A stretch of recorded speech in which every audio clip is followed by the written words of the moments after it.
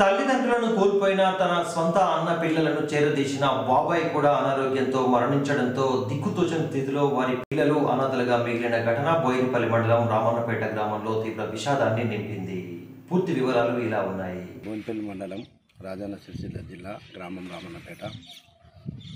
మొన్న గత ఆరు రోజుల క్రితం సీతారాములు గుండెపోటుతో అకాల మరణం చెందడం జరిగింది. గతంలో సంవత్సర క్రితం కూడా వారి అన్న మరియు వదినే ఇద్దరు దేవయ్య రేణుక. వాళ్ళిద్దరు కూడా కిడ్నీ బాధితో కిడ్నీ వ్యాధి బాధితో ఒక మూడు నెలల వ్యవధిలో కూడా వాళ్ళిద్దరు చనిపోవడం జరిగింది. వారికి కూడా ఇద్దరు కుమారులు. వారికి కూడా ఎలాంటి ఇల్లు లేదు మరియు ఎలాంటి భూమి జాగాలు కూడా లేవు. దీన పరిస్థితి నుంచి ఆరోగ్యం చెడిపోయి చనిపోవడం జరిగింది.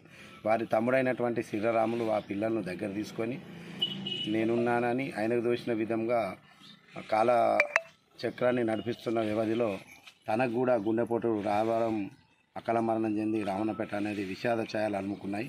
ఇప్పుడు ఉన్న పరిస్థితి ఏంటంటే ఆ అన్న పిల్లలకు ఎలాంటి ఆధారం లేదు తన పిల్లలకు ఎలాంటి ఆధారం లేదు.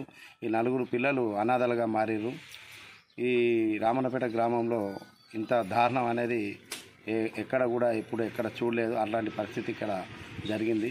కాబట్టి అనాథ పిల్లలను ప్రభుత్వం నుండి కానీ ఇతర సంస్థల నుండి కానీ వ్యక్తిగతంగా కానీ ప్రతి ఒక్కరూ మన వంతు బాధ్యతగా సహాయం చేయాలని మా రావణపేట గ్రామం నుంచి కోరుకుంటున్నాను